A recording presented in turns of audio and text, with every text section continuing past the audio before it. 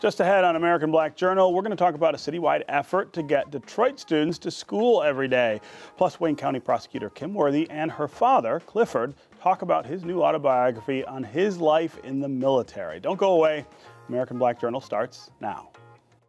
Masco Corporation is proud to manufacture innovative and environmentally friendly products for the home. Delta faucets, KraftMaid in Merillat cabinets, and Behr brand paints have all been designed with you in mind. Masco and its family of companies, serving Michigan communities since 1929. The DTE Foundation proudly supports 50 years of American Black Journal in covering African American history, culture, and politics. The DTE Foundation and American Black Journal partners in presenting African American perspectives about our communities and in our world. For nearly 100 years, Ally has been a part of Detroit, and we give back by volunteering and donating in our community. We have a commitment to diversity and increasing economic mobility in our hometown. At Ally, we're dedicated to doing it right every single day.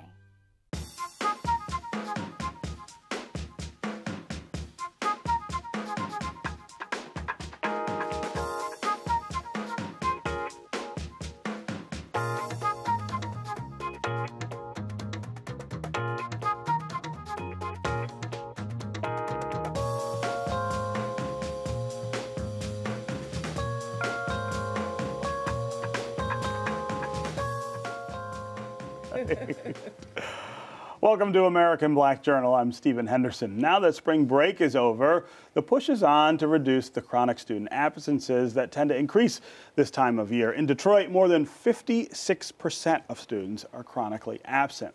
Every School Day Counts Detroit is a community partnership that is challenging students to create music, poetry, dance, and other videos to communicate the importance of showing up and being engaged at school. We from Jalen Rose Leadership Academy. Every school day counts Detroit, and we challenge DCH. five, six, five, six, seven, eight. Let's turn it up. Let's take it up a notch. Let's go, move, show what we got. I know I hate months ago. I know you're trying to forget. I know I hate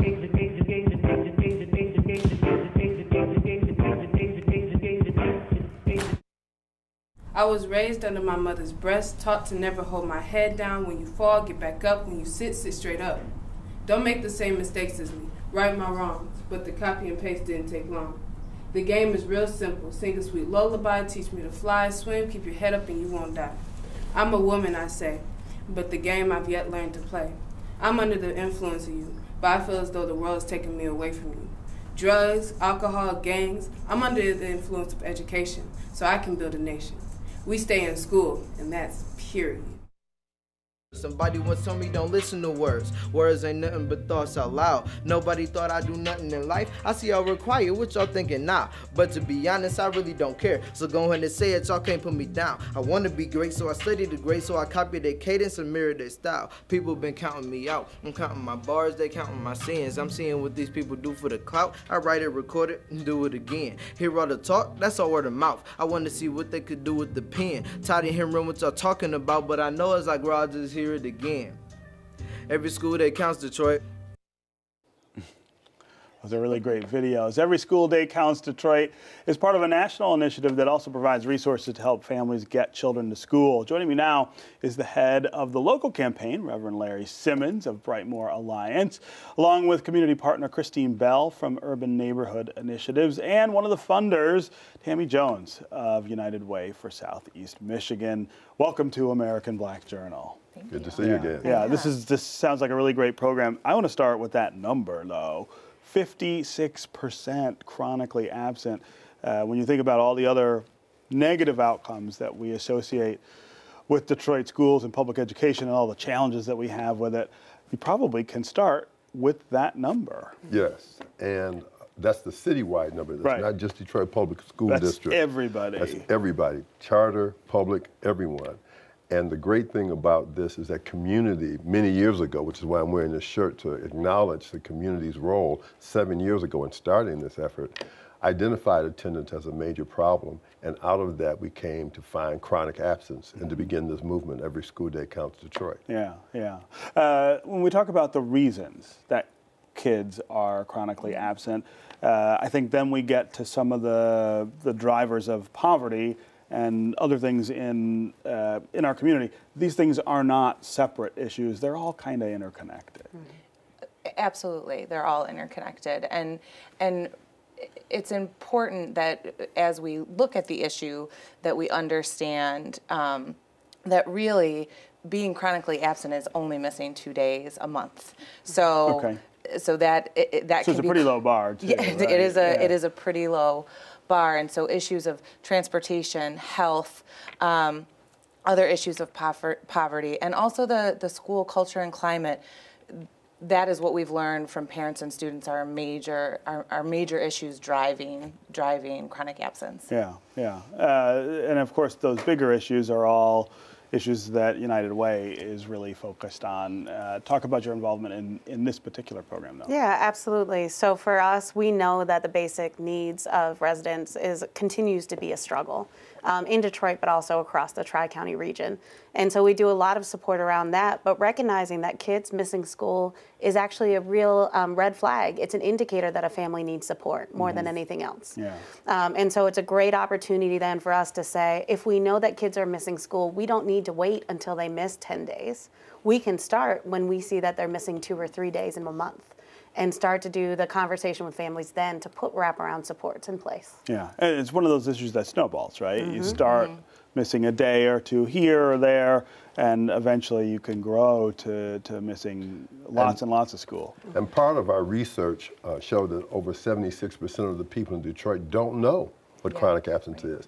Two days a month doesn't sound like much, but it accumulates to 10 uh, days, 10%, excuse me, uh, school year. And those two days a month can cause a student to get on track to drop out of school, not to read on uh, level, not to be able to succeed, and to get into more trouble. So the two days a month missing is the key message we're trying to get out to the community and asking others to share it with their friends and neighbors. Well, and it's a great idea to have children themselves. Yes. Uh, Making the messages that you're going to send to kids, right? That's who they listen to yeah. more than Christine and adults. you and I are big leaders in youth development and have a whole after school program around that. and what we found when we listened to young people is they said to us particularly high schools students why are you talking to my parents about it i get myself to school Yeah. And some of our kids get their their siblings to school. So it was re- it was really important, I think, the effort and the messaging to to ask young people to share the message um, and to be a part of this. And we're really excited because the hope is that we'll train young people to actually do the messaging work over the long term. So they'll drive not only content, but you know the the actual putting it up on social media, monitoring, um, and so we're we're really excited about that effort as yeah. well. Yeah, you know, uh, the, I used to cover uh, public education in the city. Uh, 25, well, maybe I don't want to admit that. it, was, it was about 25 years ago. Uh, but but I can remember then that the absenteeism issue was more a focus at the beginning of the year, mm-hmm. right? We would start school in Detroit, and it would take mm-hmm. weeks sometimes before mm-hmm. uh, teachers knew how many kids were going to be in their class, or schools knew how many kids they were going to get because people couldn't get geared up to go to school. I don't know that I've heard of it as an after spring break uh, issue, um, which is w- What where we- you're focused. What we discovered in the research is that there are peaks and valleys of absenteeism. And before and after holidays, you tend to be absent, but it still counts towards two days a month. Right. So even though it may not feel like you're doing much by extending your vacation late or starting early, it does. And the great thing about having kids send that message, uh, Jalen Rose Academy has already uh, done the videos you've seen. Uh, Detroit Academy of Arts and Sciences is working on some now. We have another 20 schools that United Way is connecting us with uh, shortly. So we intend to explode this through use of our children as the messengers for themselves. It's a great um, uh, addition and implementation that we got from our friends at Boulevard, which is our adv- advertising partner. Uh, y- your work is, of course, in, in primarily in the Brightmoor Mm-hmm. community. Uh, talk about how, what this issue ends up looking like uh, in that in that community. Uh, You, you don't have a lot of schools left uh, in Brightmoor, right? We have They one getting rid of them. DPSCD school. Actually, Right. there are um, now five schools left in the Okay. community. Okay. Uh, one high school. Uh-huh. But the, the how it impacts us is we see kids on the street. Mm Uh, we see test scores which are dropping. Almost 90% of our third graders cannot read at third mm-hmm. grade level. Mm-hmm. Really, you can trace that to chronic absence. Uh-huh. It's a, it is the best predictor of gra- high school graduation of mm-hmm. any statistic that The we have. absenteeism is- The Yes. absenteeism. Really? Yes. And so this is an important concept and uh, driving the message and the other programs. And without United Way and Skillman, which helped to underwrite this when nobody else would talk to us about this. When we first began this work, no one want, all they wanted to talk about was uh, average daily, Daily, attendance. yeah. Mhm. And this young lady right here, in her current role and previously when she was at Skillman, Tammy was a key supporter with her leadership in keeping this movement alive to others could appreciate. And what was the reason that, that people didn't want to talk about this? So I think uh, average daily attendance, which is tied to the funding that schools Uh, uh, receive, sure. Um, it masks chronic absence. So you can have 85 to 90 percent of your school, your students, with their butts and seats on any given day, and think you don't have a problem because most of your students are there. But out of that 10 percent who's missing, some of them are missing one or two days. Some of them are missing 45, 60 days a year. Wow. And those students have a profound impact not only on their own academic performance, but also what's happening in the classroom. From behavior norms to also just knowing what's happening and keeping up with content, a teacher has to give those students extra time, and it draws from everyone. So people just didn't understand how the data can change and how important it is. Yeah. Yeah. Go ahead. Oh, I, I would just agree with what Tammy said. I mean, it's it is. Um, I, and I just want to add, when, when we were talking about chronic absence, that that is being out of school for any reason. Right, So suspensions, um, Okay. Doctor's excused, unexcused, doctor's appointments. It's it's missing any academic instruction, and so that's what also I think makes it different. Is that's you know it's. It, it's uh, it's hard to conceptualize that, Right. right? Like Right. for whatever reason, my mm-hmm. child's absent, and that that could ne- negatively impact their Yeah. their academics. And the reason it's so important to reach out for those who come to understand this, because it was an aha for us. Mm-hmm. Two days a month, mm-hmm. that's all it takes. In every other part of life, 90% is good. Right. but in attendance, it's not. It It's makes not. you chronically absent. Yeah. And just think, if if I miss school today and we're talking about multiplication, when I come back tomorrow and you're talking about division, I can't participate I can't in do that. that, class. right. Mm-hmm. And the teacher has now got to interrupt the education of the other students to try and catch me up. Yeah. And then day after tomorrow, Christine is absent. Mm-hmm. So it accumulates and slows down the learning of the entire classroom. That's right. And it's something that teachers, I think, recognize mm-hmm. recognize very uh, regularly is is having to do exactly what Reverend Simmons just said, and so it's really problematic. What's the school side of this? I mean, you mentioned suspensions is uh, one of the things that, that keeps kids out of school. Are you asking schools to think differently or more about this than they were? yes, yeah. So when when uh, Tammy and I were working on the Coalition for the Future of Detroit School Children uh, initiative uh, championed by Skillman, Uh-huh. Uh, chronic absence rose to the top of their list of concerns that have to be addressed because of this. And to the credit of Detroit Public Schools uh, Community District and the charter community, both have embraced this and have begun to implement attendance teams, have redeployed attendance officers in new ways, and are recognizing that the early intervention, uh, not waiting until the child was absent 10 days or seven days, but catching them in those that month when two days have been Yeah. missed, that's when we began to work with the students through attendance teams and other interventions uh, to get them to school. And we got social service agencies joining them. Yeah. I mean, you say, uh, you use that term, uh, attendance officers.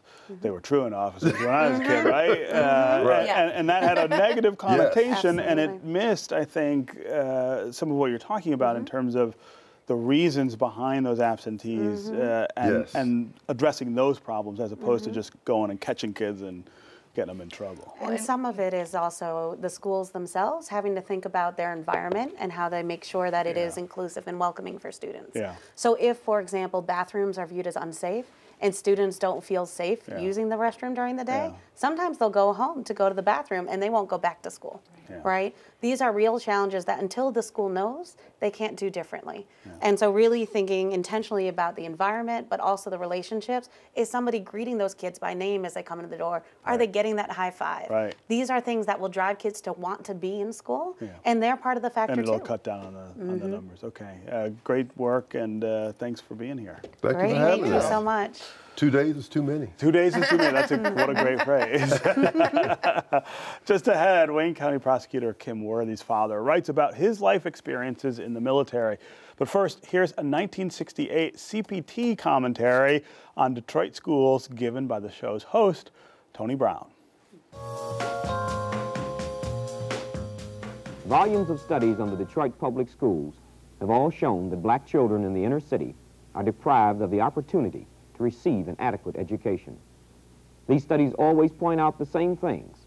Teachers who have the least experience, poor physical facilities, students receiving automatic promotions and reading four or five years below their grade level. Then the studies are filed away. Nothing seems to get done. Time, however, seems to be running out. A different breed of black student now demands change. Studies of the typical black person who took part in the civil disorder in Detroit in 1967 showed that he was in his teens and believed that change will only come if it is violently achieved. Society has come to understand that rundown schools produce rundown citizens, and rundown citizens produce rundown neighborhoods and cities. It doesn't matter whether the student is black or white. If he is in poverty, he is the low man on the ladder. His name isn't important. He's a child of the inner city. When he's 10 years old, he still reads like a second grader, puzzled by words with more than three letters. He's shy in class and often falls asleep. His teachers call him a slow learner. He wonders why they don't understand him when he talks. The images in his textbooks are white people, and he is taught a history which only points out the contributions of white people. He's a black child in a white world, and he's poor. He's in trouble. Our city is in trouble also. We're doing business as usual in our schools, despite the studies which tell us we're failing to educate.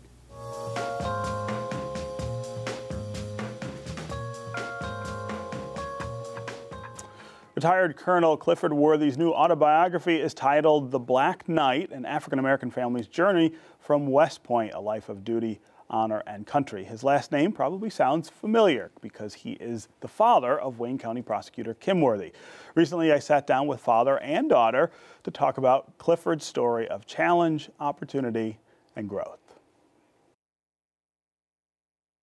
talk about how important that was that uh, the decision to go to West Point and the ability to get in, which wasn't always available to African Well, that, Americans. that was just, it was almost like the get, getting, get the opportunity to go that was thrust on me. Before that time, I had no plans about West Point.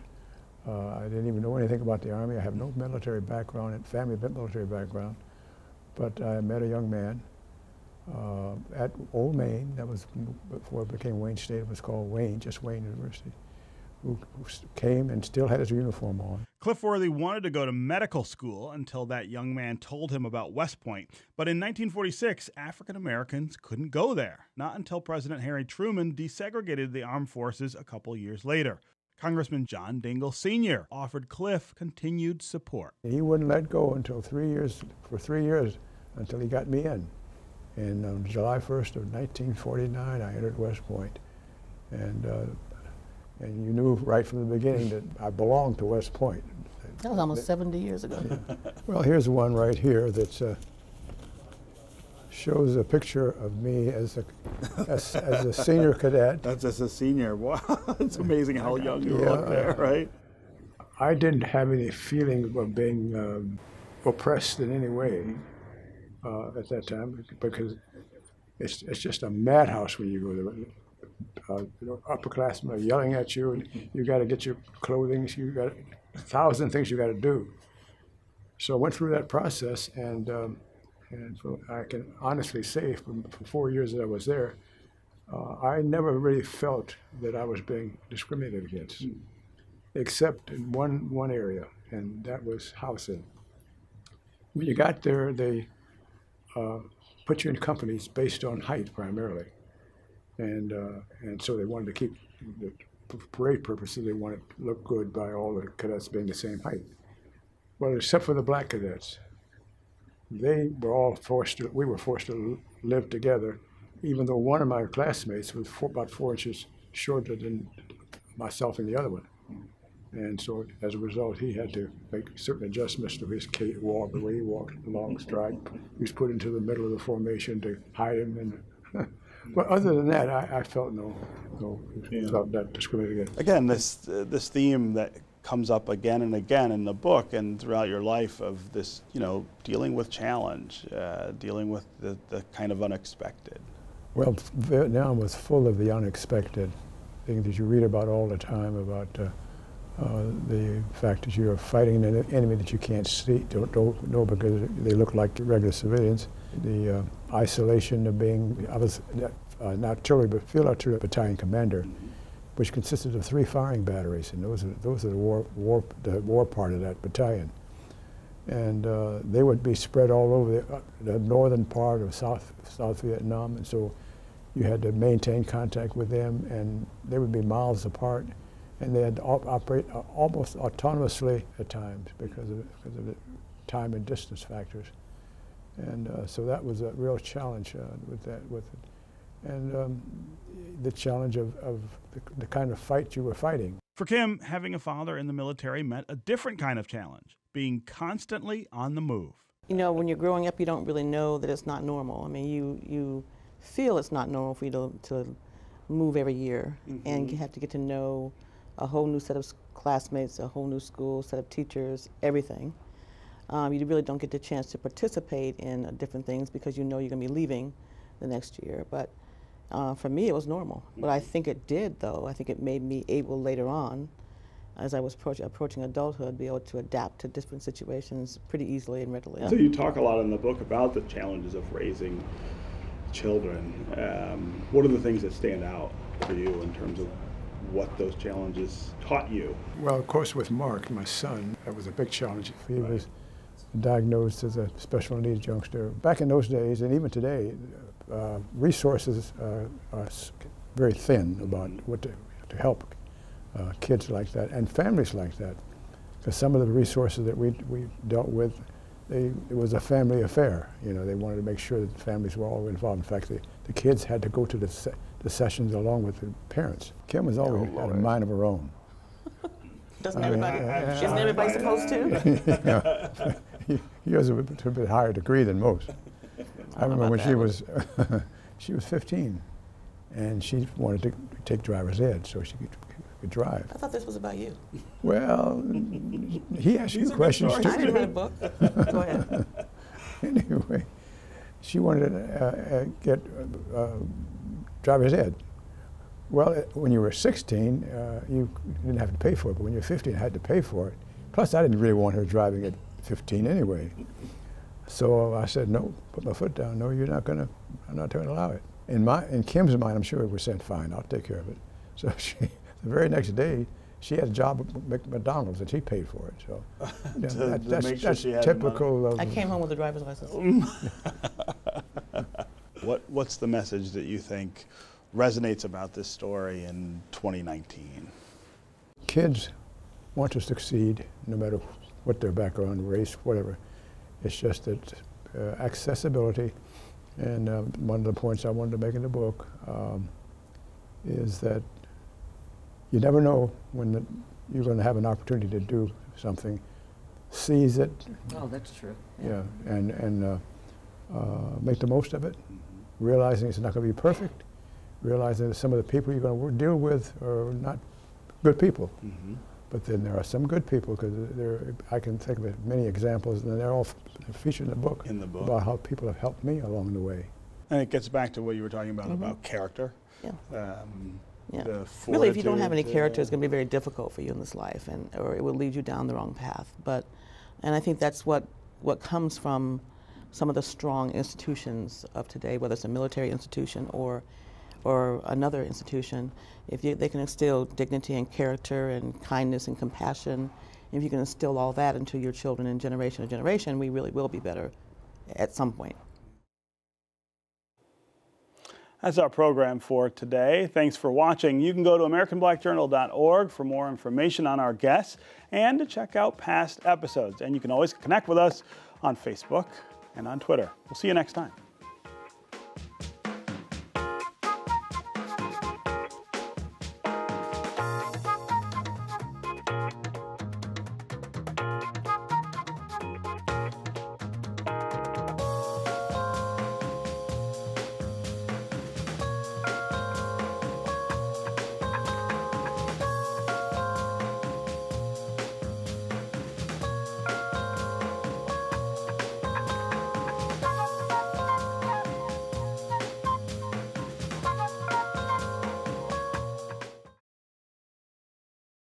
Masco Corporation is proud to manufacture innovative and environmentally friendly products for the home. Delta faucets, KraftMaid in Merillat cabinets, and Behr brand paints have all been designed with you in mind. Masco and its family of companies, serving Michigan communities since 1929. The DTE Foundation proudly supports 50 years of American Black Journal in covering African American history, culture, and politics. The DTE Foundation and American Black Journal partners in presenting African American perspectives about our communities and in our world.